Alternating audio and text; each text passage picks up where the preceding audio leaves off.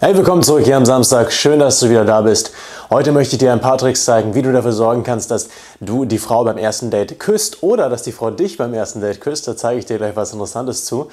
Ähm, bevor wir ins Video durchstarten, ich habe ein Live-Webinar gestaltet, in dem ich dir meine drei größten Geheimnisse verrate, wenn es ums Thema Frauen geht, Frauen verstehen, Frauen kennenlernen, Frauen ansprechen und verführen. Und du kannst dir einen Gratisplatz in diesem Live-Webinar sichern. Das Ganze kannst du im ersten Link unten in der Beschreibung machen oder jetzt auf dem Infopunkt. Am Ende des Videos wirst du es auch nochmal machen können.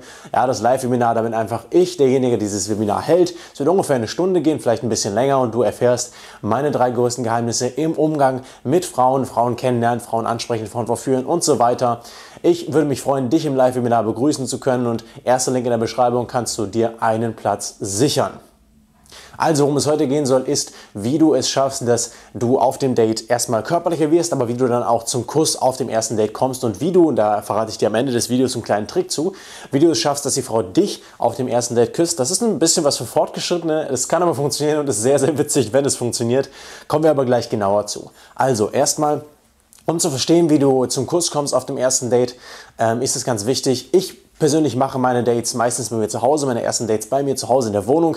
Das hat natürlich den Vorteil, dass ich, ähm, ich habe hier meinen Sessel und ich bin dann mit den Frauen meistens auf dem Sessel und wenn du jetzt zum Beispiel in einer Bar bist auf dem ersten Date, dann sind die Möglichkeiten für schnellen und effektiven Körperkontakt natürlich etwas schlechter, als wenn du bei dir zu Hause bist und du kannst auf dem Sessel sitzen oder auf dem Sofa oder vielleicht sogar auf deinem Bett. Da sind die Möglichkeiten natürlich etwas anders.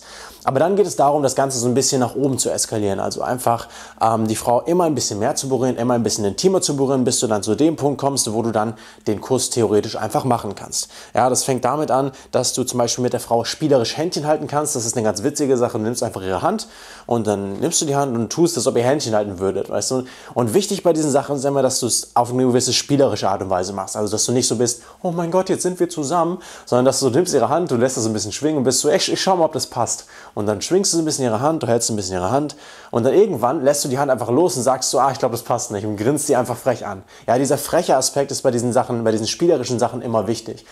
Sei auch immer der Erste, der den Körperkontakt abbricht dann wird das nämlich dafür sorgen, dass sie mehr Körperkontakt will, wenn du immer der Erste bist, der den Körperkontakt abbricht. Wenn sie den Körperkontakt abbricht oder den Körperkontakt nicht mitmacht, den du gerade machst, dann ist das für dich ein Zeichen, okay, sie ist noch nicht bereit für den Körperkontakt oder für die Art von Körperkontakt, die du gerade aufbaust. Probier es einfach zu einem späteren Zeitpunkt nochmal. Das heißt, wenn sie dir ihre Hand nicht gibt, dann ist sie in diesem Moment noch nicht bereit dafür, ist nicht schlimm. Rede einfach weiter mit ihr, äh, sorg dafür, dass ihr ein bisschen mehr Zeit zusammen verbringt und dann probier es einfach nochmal. Wie gesagt, wir befinden uns immer noch hier auf dem ersten Date. Also du hast ihre Hand genommen. Äh, Sachen, die du auch machen kannst, ist sie einfach zufällig mal am unteren Rücken berühren oder an der Hüfte berühren. Wenn ich zum Beispiel in meiner Küche bin und ich koche mit den Frauen, dann äh, schneiden die zum Beispiel etwas, ich schneide etwas und dann berühre ich sie einfach der Hüfte oder hinten am unteren Rücken. Und so merkst du, eskaliert das immer weiter von du berührst ihre Hand zu du berührst ihren unteren Rücken oder berührst sie hinten. Ähm, wenn ihr zum Beispiel in einer Bar wart und ihr seid dann noch ein bisschen unterwegs, kannst du sie auch zum Beispiel einhaken hier. Also du nimmst einfach deine Hand, tust sie in deine Jackentasche und lässt sie sich dann hier einhaken. Das ist auch wieder so eine Möglichkeit, Körperkontakt aufzubauen und das Ganze höher zu eskalieren. Ähm, wenn du dann zum Beispiel zu Hause bist, und das mache ich super gerne auf meinem Sessel, ist, äh, sie ist dann auf dem Sessel zum Beispiel, sitzt auf dem Sessel und ich lege mich dann einfach sozusagen zu ihr. Also ich lege mich einfach irgendwie auf ihren Schoß und ich mache das halt einfach. Also du fragst nicht danach, sondern du machst es einfach und guckst dann, was passiert. Äh, du wirst schon merken, wenn sie nicht bereit ist für den Schritt und dann gehst du halt einen Schritt zurück. Also wenn sie nicht bereit ist dafür, dann lässt du es sein und quatscht erstmal ein bisschen mit ihr, bevor du dann weitermachst. Aber ich lege mich einfach so auf ihren Schoß oder in ihren Schoß und was ich dann oft mache oder was du dann gut machen kannst, ähm, dass du einfach ihre Hände nimmst und zum Beispiel, ich hatte jetzt die Tage ein Date, da habe ich einfach die Hände genommen, habe sie ein bisschen meinen, meinen Kopf kraulen lassen, mich ein bisschen gekrault. Was ich auch sonst gerne mache, ist mich massieren lassen. Also setze mich einfach dahin und sage, komm, massiere mich. Und selbst wenn die Frau sagt so, ah nein, ich kann das nicht oder ah, lieber nicht, dann sei einfach so, hey, kein, kein, kein Stress, wir machen das einfach mal, du lernst das jetzt, äh, massiere mich einfach mal, probier es einfach mal. Also wichtig ist immer, dass du bei diesen Sachen auch ein bisschen hartnäckig bleibst, ein bisschen am Ball bleibst. Wenn die Frau im ersten Moment Nein sagt, dann bleib einfach dran und sorg dafür, dass sie es einfach trotzdem tut. Wenn zum Beispiel sie dich so, oh nein, ich kann nicht massieren, ich bin mir nicht sicher, ob ich das kann, dann sag einfach, keine Sorge, wir lernen das, ich bringe dir das bei, komm, setz dich hin. So, und dann gibst du ihr eine Massage und wenn sie dann so ist, nein, ich, ich möchte auch keine Massage, dann sei so, okay, setz dich hin, ganz kurz, ich zeig dir das. Ich muss ja auch ein bisschen äh, üben können bei der Massage. Und ähm, das ist halt sehr effektiv, um Körperkontakt zu der Frau aufzubauen, um relativ entspannt auch Körperkontakt zu der Frau aufzubauen. Und ein Kumpel von mir, das ist eine ganz witzige Geschichte, hat es auch mal gemacht mit einer ganz äh, fremden Frau im Bus. Die hat er im Bus kennengelernt, im Fernbus, sind zusammen nach Berlin gefahren und dann haben die halt ein bisschen gequatscht und dann hat er sich einfach irgendwann in ihren Schoß gelegt, hat ihre Hand genommen und hat, hat, sie, hat sich so kraulen lassen von ihm, von ihr. So einfach nachdem sie da eine halbe Stunde im Bus miteinander gequatscht hatten. Und es hat funktioniert. Die beiden haben dann im Nachhinein auch miteinander geschlafen. Im Bus natürlich nicht, das ging ja nicht, aber haben dann miteinander geschlafen noch. Und so kannst du diese Sachen eskalieren, wenn du es nur einfach machst. Du musst halt frech genug sein, es auch einfach zu machen. Das ist der wichtige Punkt bei diesen Sachen. Und dann kann das funktionieren. Und von da aus kannst du dann relativ einfach zum Kuss übergehen. Ja? Dann kannst du, sie, kannst du sie zum Beispiel einfach anschauen. Angenommen, ich liege in ihrem Schoß, dann drehe ich mich vielleicht zu ihr um, schaue sie an und sage, komm mal her oder greife hier äh, im Nacken und ziehe sie ein bisschen ran und küsse sie dann. Auch wieder, wenn sie an diesem Punkt nicht bereit dafür ist, dann ist nicht schlimm, lass es einfach sein, leg dich wieder in ihren Schoß und quatsch noch ein bisschen mit ihr. Probier es zu einem späteren Zeitpunkt nochmal. Und jetzt habe ich dir vorhin erzählt, dass ich dir noch zeige, wie du es theoretisch schaffen kannst, dass die Frau dich zuerst küsst. Und das habe ich schon ein paar Mal gemacht. Das ist so witzig. Es funktioniert nicht immer, aber es funktioniert, wenn du es gut genug machst, wenn du es mit genug Humor machst. Das ist eine Sache, da brauchst du wirklich Humor für. Das muss witzig sein, das muss spielerisch, flirtend sein und frech sein, damit das gut funktioniert.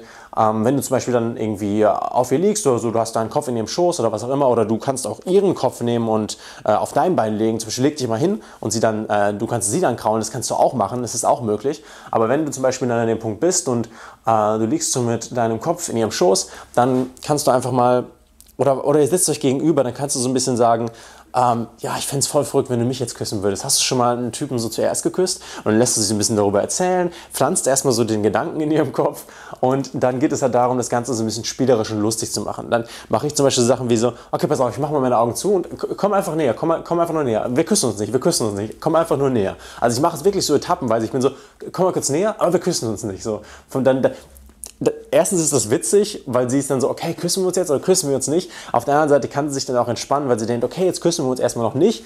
Natürlich werdet ihr das gleich machen. So, komm einfach mal näher und äh, wir küssen uns aber nicht, komm einfach näher. Und dann, dann bist du so, bist du jetzt näher dran, weil du siehst ja nichts. Und so, bist du jetzt, bist du jetzt nah dran? Und sie so, ja, ich bin jetzt relativ nah dran. Und äh, dann äh, kannst, du halt, kannst du halt immer so weiter eskalieren und sagen, okay, okay, jetzt küss mich aber nur so ganz kurz, nur ganz kurz, küss mich nur ganz kurz, gib mir nur so, gib mir so einen Kuss. Und du musst halt immer so weiter, Ziel der Sache ist, dass du einfach, du redest auf sie ein und sagst so, okay, Komm, komm nur kurz näher, nur ein bisschen näher. Setz dich mal, setz dich mal gerade hin. Komm ein bisschen näher. Gib mir so einen kleinen Kuss. Und es geht darum, das immer weiter zu treiben, also immer den nächstgrößeren Schritt zu nehmen. So setz dich einfach mal gerade hin. Komm mal, setz dich mal näher zu mir. Ähm, ich mach mal die Augen zu. Komm mal so ein bisschen näher ran und gib mir nur so einen ganz kurzen Kuss. Gib mir nur so einen Kuss auf die Backe. Vielleicht lässt du dir erst einmal einen Kuss auf die Backe geben. So, okay, okay, jetzt, jetzt, jetzt kommen wir noch mehr, kommen wir noch mehr. Gib mir noch einen Kuss auf den Mund. Und dann gibst du dir einen kurzen Kuss auf den Mund. Und ähm, ja, in dem Moment, wo sie dir den Kuss auf den Mund gibt, könntest du sie schon ranziehen und einfach so in das normale ähm, Rumgehen übermachen. Aber so kannst du es schaffen, dass die Frau dich zuerst küsst. Wenn du es spielerisch machst, wenn du es lustig machst, zuerst pflanzt du diesen Gedanken in ihrem Kopf und sagst sowas wie, hey, äh, hast du mal einfach einen Typen zuerst geküsst? Äh, ich finde das mega witzig, ich mache das zum Beispiel mit Frauen. Und dann machst du deine Augen zu und sagst, okay, setz dich mal hin, setz dich mal aufrecht hin, komm, komm ein Stück näher, okay, jetzt gib mir mal einen Kuss auf die Wange, nur auf die Wange. Und wenn sie dann ist, ah, ich bin mir nicht sicher, dann, dann, du musst halt an dieser Stelle musst du halt ähm, dranbleiben. Also wenn sie sagt, ah, ich bin mir nicht sicher, dann sagst du, nur, nur ganz kurz, nur kurz auf die Wange. Komm, komm, mal näher, nur ganz kurz. Also bleib einfach dran und sag einfach immer wieder, dass ich es machen soll. Und irgendwann ist dann halt deine Realität meistens stärker als ihre Realität und meistens macht sie es dann. Und so kannst du halt von Kuss auf die Wange oder nur kurz näher kommen zu Kuss auf den Mund kommen und dann zum Rummachen kommen. Wenn das nicht funktioniert, es funktioniert nicht bei allen Frauen, dann äh, nimm die Frau einfach oder sag, komm her, greif die Frau äh, hier am Hals, zieh sie ein bisschen ran und küss sie dann. Ja, nachdem du diese ganzen anderen Aufbausachen gemacht hast, nachdem du ihre Hand gehalten hast, nachdem du sie am unteren Rücken, Hüfte berührt hast, nachdem du zum Beispiel in ihrem Schoß lagst oder sie auf deinem äh, Schoß lag, nachdem ihr euch massiert habt, kannst du dann einfach in den Kuss übergehen. Und ja, der Kuss ist immer so eine Sache, man fühlt sich immer ein bisschen, man ist immer ein bisschen aufgeregt davor, aber äh, mach es einfach. Also mach es einfach, schau, was passiert. Wenn sie nicht bereit ist für den Kurs, dann, dann äh, alles in Ordnung. Bleib einfach weiterhin bei dem, bei dem Thema, wo du gerade bist. Quatsch wieder mit ihr und versuch es zu einem späteren Zeitpunkt nochmal. Und es ist absolut mehr als möglich, fast jede Frau auf dem ersten Date zu küssen und auch mit vielen Frauen auf dem ersten Date zu schlafen, wenn du nur einfach wirklich dran bleibst, wenn du es nur machst, wenn du die, die Schritte gehst, die du gehen musst, dann passiert es mit den meisten Frauen sehr, sehr schnell auf dem ersten Date. Erster Kuss oder erster Sex. Schön, dass du dabei warst hier am Samstag. Trag dich gerne für mein Live-Webinar ein. Ich habe ein Live-Webinar gestartet, habe ich dir ja gesagt. Das kannst du hier unten machen. Da kannst du dich für das Live-Webinar anmelden. Da kannst du den Channel abonnieren. Und hier geht es zum letzten Video auf diesem Channel. Super spannendes Video mit meinem besten Trick zum Frauen verführen. Wenn dir das Video gefallen hat, wird dir das Video auch auf jeden Fall gefallen. Schön, dass du dabei warst. Wir sehen uns am nächsten Donnerstag wieder. Bis dahin, ciao.